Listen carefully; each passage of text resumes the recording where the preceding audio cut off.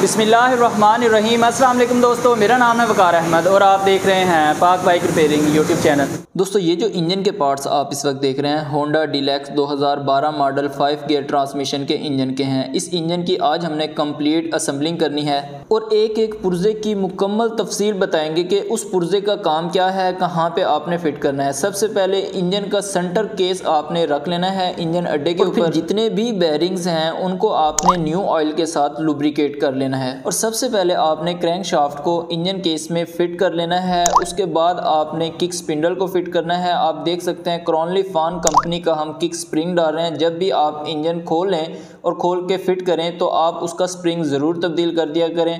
तो हमने क्रॉन लिफान कंपनी का किक स्प्रिंग डाल दिया है। इसकी ख़ास बात यह है कि एक तो रीज़नेबल प्राइस है और क्वालिटी भी बहुत अच्छी है। किक स्प्रिंग को आपने स्पिंडल के अंदर फिट करना है और किक स्पिंडल को आपने इंजन केस के अंदर इस तरीके से फिट करना है। उसकी एक प्रॉपर एडजस्टमेंट होती है। आपने उसको प्रॉपर एडजस्ट करके ही फिट करना है। फिर बारी आ जाती है गेयर ट्रांसमिशन की। ये है तीन अदद शिफ्ट फोर्क ये है इसकी काउंटर शाफ्ट जिस पे छोटी चैन स्प्रॉकेट चलती है। इसके अंदर आप देख सकते हैं छः अदद गेयर ड्राइवर्स होते हैं। ये है इसकी मेन शाफ्ट इसके अंदर भी छः अदद गेयर ड्राइवर्स होते हैं। इनको किस तरीके से फिट किया जाता है, उसके बारे में आपको बता देते हैं। सबसे पहले आपने वो वाला गेयर ड्राइवर फिट करना है क्रैंक केस में, जिसके ऊपर क्लच बक्सा फिट होता है। गेयर ड्राइवर बेसिकली इसको कहने का मकसद ये है कि जिस गरारी के ऊपर चैन चले, उसको गरारी या आप स्प्रॉकेट भी कह सकते हैं। इसको हम स्प्रॉकेट नहीं कह सकते क्योंकि ये दोनों गरारियाँ आपस में मिल के चलती हैं, इनको आप गेयर ड्राइवर ही कहेंगे। Five gear transmission Honda C G one two five का फोर गेयर ट्रांसमिशन से मुख्तलिफ़ होता है। इसके अंदर जो गेयर ड्राइवर हैं, वो एक्स्ट्रा होते हैं। यानी कि Honda C G one two five के गेयर ट्रांसमिशन में टोटल दस गेयर ड्राइवर होते हैं और Honda Deluxe five gear transmission में टोटल बारह गेयर ड्राइवर्स होते हैं। Honda C G one two five के गेयर ट्रांसमिशन में टोटल दो शिफ्ट फोर्क होते हैं और Honda Deluxe five gear transmission में टोटल तीन शिफ्ट फोर्क होते हैं। Honda C G one two five के गेयर ट्रांसमिशन में जो शिफ्ट फोर्क आते हैं, वो एक काउंटर शाफ्ट में आता है और एक मेन शाफ्ट में आता है और Honda Deluxe five gear transmission में जो शिफ्ट फोर्क होते हैं वो एक मेन शॉट में आता है और दो काउंटर शॉट में आते हैं। जैसे कि अभी आपने देखा कि हमने दो अदद शिफ्ट फोर्क अभी तक फिट कर लिए हैं और ये जो लास्ट वाला शिफ्ट फोर्क है, ये भी हम मेन शाफ्ट में फिट कर रहे हैं। और जो इसके गेयर ड्राइवर्स होते हैं Honda Deluxe five gear transmission के Honda C G one two five से टोटली मुख्तलिफ़ होते हैं। Honda C G one two five वाले गेयर ट्रांसमिशन के जो गेयर ड्राइवर हैं, वो अगर आप डिलेक्स में फ़िट करेंगे तो फिट नहीं होंगे। हाँ Honda Deluxe four gear transmission जो ओल्ड मॉडल्स हैं उनमें अगर आप फिट करना चाहें तो उनमें इजीली फिट हो सकते हैं। गेयर ट्रांसमिशन तो हमने मुकम्मल तौर पे फिट कर लिया है। अल्हम्दुलिल्लाह, अभी हम आपको बताते हैं कि गेयर शिफ्टिंग सिस्टम किस तरह से काम करता है। मोटरसाइकिल का गेयर शिफ्टिंग सिस्टम बाएँ पाव पर कंट्रोल होता है। जब गेयर तब्दील करने के लिए गेयर लीवर को ऑपरेट किया जाता है तो gear shift shaft gear shifting drum पर बनी हुई डिस्क को हरकत देती हैं, यानी स्टापर पत्ती को हरकत देती है, जिससे गेयर ड्रम घूमता है। और ड्रम के अंदर दो गिरू बने होते हैं होंडा सी जी फाइव और होंडा सी डी सेवेंटी में और होंडा डिलैक्स में तीन ग्रुप बने होते हैं, जिन पे शिफ्ट फोर्क हरकत करती है, जिसका तलक गेयर से होता है, जिससे गेयर तब्दील होते हैं। यह है मुकम्मल तरीक़ेकार गेयर शिफ्टिंग का, जिससे गेयर लगते हैं और निकलते हैं। अभी मुकम्मल गेट ट्रांसमिशन कंप्लीट हो चुका है, जैन हमने फिट कर लिया है, अभी हमने इसका मेन क्रैंक केस फिट करना है। जब कभी भी आप इंजन को मुकम्मल तौर पे रिबिल्ड करें तो पहले वाले जैन्स को अच्छी तरह आपने साफ़ कर लेना है, फिर ही आपने न्यू जैन लगा के फिट करना है। अदरवाइज़ लीकेज के चांसेस बहुत ज़्यादा होते हैं। और क्रैंक केस को दूसरे क्रैंक केस के साथ फिट करना बहुत ही ईजी है, लेकिन एहतियात के साथ आपने करना है। हो सकता है उस दौरान आप जैन ख़राब कर बैठें। जितने भी बोर्ड्स लगे हैं, सबको को आपने मखसूस टार्क के मुताबिक टाइट कर लेना है। आमने सामने वाले बोल्ट्स को टाइट करना है। ऐसा ना हो कि एक साइड के बोर्ड्स आप पहले टाइट कर दें और दूसरी साइड के बोर्ड्स आप बाद में टाइट करें। इससे यह होगा कि एक साइड से ज़्यादा बोर्ड्स टाइट हो जाएँ और जब एंड में आप दूसरी साइड के बोर्ड्स टाइट करेंगे तो इंजन केस क्रैक होने के चांसेस बहुत ज़्यादा होते हैं।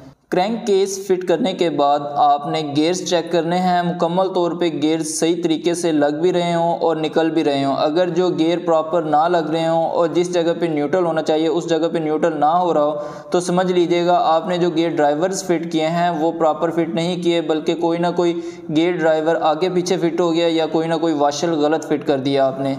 इस इंजन के गेयर बिल्कुल सही काम कर रहे हैं। अभी बारी आ जाती है गेयर शाफ्ट को फिट करने की। डीलैक्स की जो गेयर शाफ्ट होती है, वो अलग होती है। Honda C G one two five की नस्बत और इसकी जो स्टॉपर पत्ती है और स्टारी है ये भी अलग होती है Honda C G one two five की और होंडा डीलैक्स की अलग अलग होती है। क्योंकि जब भी हम बाइक की रिस्टोरेशन करते हैं या इंजन को रिबिल्ड करते हैं तो हमें बहुत सारी प्रॉब्लम आती हैं होंडा डीलैक्स का सामान परचेज़ करते हुए।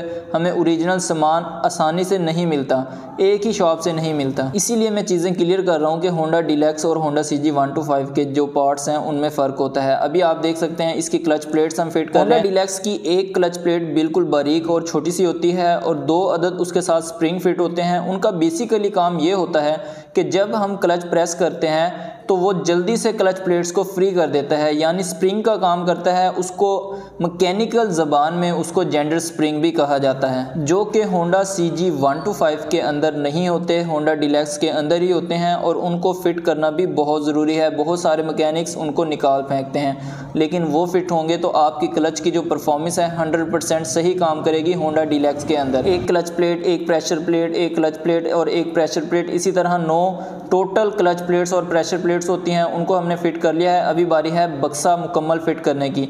होंडा डिलेक्स की जो कुशन गरारी होती हैं, ये दो होती हैं। एक क्लच बक्से के साथ अटैच होती है और दूसरी ऑयल पम्प की ड्राइवर के साथ अटैच होती है। इंजन के अंदर से एक एक्स्ट्रा आवाज़ आती है। जब भी आप गेयर लगा के क्लच छोड़ते हैं तो एक अलग से आवाज़ आती है क्लच साइड से। बेसिकली वो कुशन गरारी की होती है। अगर आपकी बाइक में से वो आवाज़ आ रही है तो आप जस्ट उसकी कुशन गरारी रिप्लेस कर दें तो मसला हल हो जाएगा।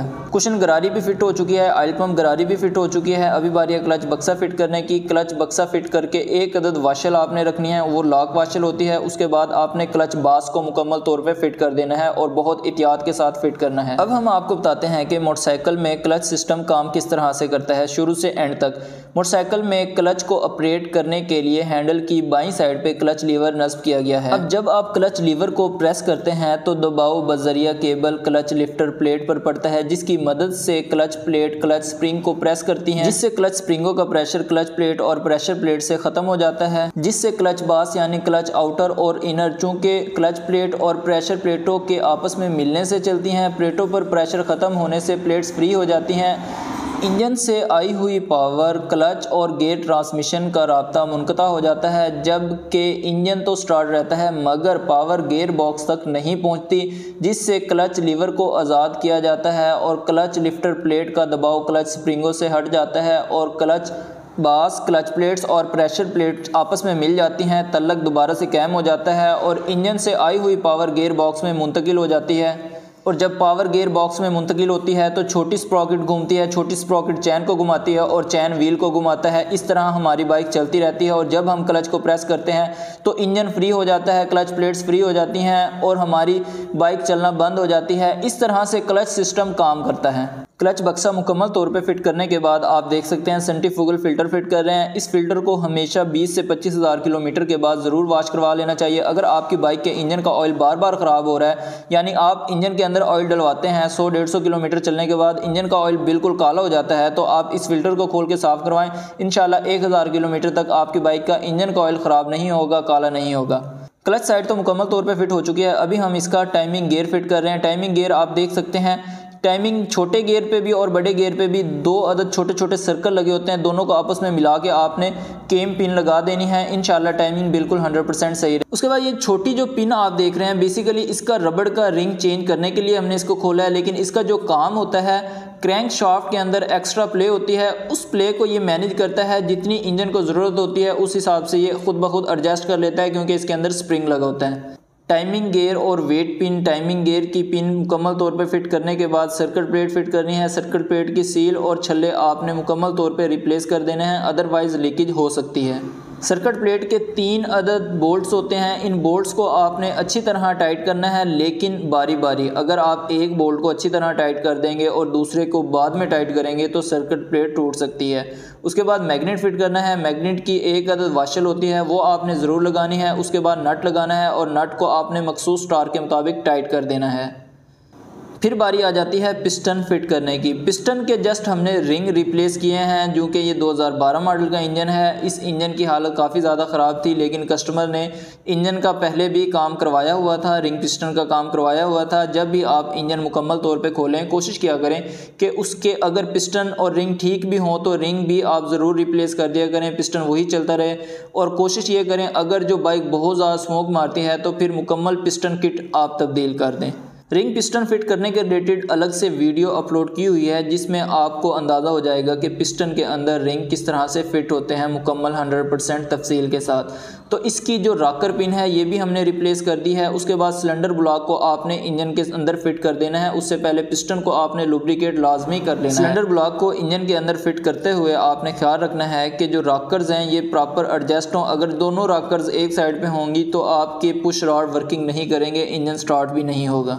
डावल पिंस आपने टोटल इंजन की लगानी है। आपने देखा होगा, हमने भी मुकम्मल इंजन की डावल पिन लगाई हैं। अगर आप डावल पिन नहीं लगाएँगे तो इंजन का मज़ा ही नहीं आएगा। आपको इंजन का साउंड ही अच्छा नहीं लगेगा। डावल पिन आपने ज़रूर लगानी है। तो हेड के वाल्स हम फिट कर रहे हैं। वाल्स भी हमने इस बाइक के न्यू डाल दिए हैं। वाज भी रिप्लेस करने हैं। वाज की सीलें भी आपने रिप्लेस करनी है। आपने जिस भी कंपनी की डालनी है, अच्छी कंपनी की डालनी है, जिस कंपनी पे आपको 100 परसेंट यकीन हो। दोनों वाल सील्स को आपने फ़िट करने के बाद स्प्रिंग्स फ़िट करने हैं। स्प्रिंग के फ़िट करने से पहले आपने वाशल ज़रूर रख लेनी है। एक वाशल छोटी होती है और एक बड़ी होती है। जो बड़े स्प्रिंग के नीचे आती है और जो छोटी होती है, वो छोटे स्प्रिंग के नीचे आती है। दो अदद काटर्स होती हैं और काटर की कटोरी होती हैं। इनको रखने के बाद आप पुलर की मदद से काटर्स को फिट करेंगे। ये स्पेशल पुलर है। एक बार प्रेस करने से आप काटर्स को इजीली फिट कर सकते हैं। पहले देसी टाइप पुलर होते हैं, उनसे काफ़ी ज़्यादा टाइम लग जाता था। काटर्स फिट करने के बाद हेड को हमने फिट कर लेना है। हेड फिट करने से पहले गैसकिट भी हमने फिट किया है। और इसकी चारों बोर्ड्स जो होते हैं स्टड के, वो लगाकर आपने आमने सामने के मखसूस टार के मुताबिक आपने बोर्ड्स को टाइट कर लेना है। हेड सिलेंडर के रिलेटेड, रिंग पिस्टन इंस्टॉल करने के रिलेटेड 70 के इंजन को किस तरह से फिट किया जाता है, बहुत सारी वीडियोस अपलोड हैं डिटेल के साथ। हेड फिट करने के बाद सबसे पहले आपने पुश रॉड फिट करने हैं। पुश रॉड फिट करने के बाद मैग्नेट को घुमा के आपने चेक कर लेना है कि पुश रॉड वर्किंग कर रहे हैं या नहीं कर रहे। फिर उसके बाद आपने राकर पट्टी फिट करनी है। डीलैक्स की राकर पट्टी के अंदर दो अदद डावल्स होती हैं। वो डावल्स भी आपने ज़रूर रखनी है। तीन अदद बोर्ड्स होते हैं। तीनों बोर्ड्स लगाकर आपने अच्छी तरह टाइट कर देने हैं। बोल्ट्स टाइट करने के बाद फिर आपने मैग्नेट को टॉप पोजीशन पे ला के यहाँ पे पहले टैपर्स एडजस्ट कर लेने हैं। उसके बाद जब आप इंजन को चेसी के साथ फिट कर देंगे तो इंजन को स्टार्ट करके ऑयल पम्प चेक करके फिर टैपर्स चेक करने हैं। टैपर्स चेक करने के बाद फिर आपने इंजन को मुकम्मल तौर पर क्लियर करना है। इस बाइक का क्लच साइड कवर हमने पहले नहीं लगाया था, क्योंकि इस बाइक के क्लच साइड कवर को हमने पेंट किया हुआ था। अगर हम पहले लगा देते तो इसके ऊपर स्क्रैचेज आने के चांसेस थे। इसीलिए मुकम्मल इंजन फिट होने के बाद ही हम इसका क्लच साइड कवर लगा रहे हैं और क्लच साइड कवर लगाने के बाद सारे बोर्ड्स आपने टाइट कर देने हैं। इंजन जब भी आप रीबिल्ड करें तो कोशिश करें इंजन की सीलें और जैन सारे के सारे तब्दील कर दें और किसी अच्छी कंपनी के इंजन के जैन और सीलें डालें। क्लच साइड कवर फिट हो चुका है। डिलैक्स की ओरिजिनल गेज हम लगा रहे हैं, जो ब्लैक कलर की ही होती है। फुट रेस्ट लगा रहे हैं। उसके बाद हमने इसको इंजन को बॉडी के साथ फिट कर देना है। इस इंजन का साउंड भी आपको ज़रूर चेक करवाएँगे, जिसमें हमने जिस बाइक की ये रजिस्ट्रेशन कर रहे हैं 2012 मॉडल की। जब इंजन को बाइक के साथ कसने के बाद एंड में आपको इसका साउंड भी चेक करवाएँगे लाजमी के इस इंजन का पहले वाला साउंड कैसा है और इंजन को रिबिल्ड करने के बाद का साउंड कैसा है। टैपट कवर फिट कर रहे हैं। उम्मीद करता हूँ ये वीडियो आपको पसंद आई होगी। इसमें हमने आपको बहुत ही ज़्यादा हैरत अंगेज़ मालूम दी हैं, इंजन के रिलेटेड और बहुत सारी मालूम अभी बाकी भी हैं। इन किसी नेक्स्ट वीडियो में भी आपको ज़रूर देंगे। ये वीडियो पसंद आए तो प्लीज़ लाइक कर दीजिएगा। चैनल आपने अभी तक हमारा सब्सक्राइब नहीं किया तो काइंडली ज़रूर सब्सक्राइब कर दीजिएगा। मिलते हैं इन ताला नेक्स्ट वीडियो में। तब तक के लिए अल्लाह हाफिज़।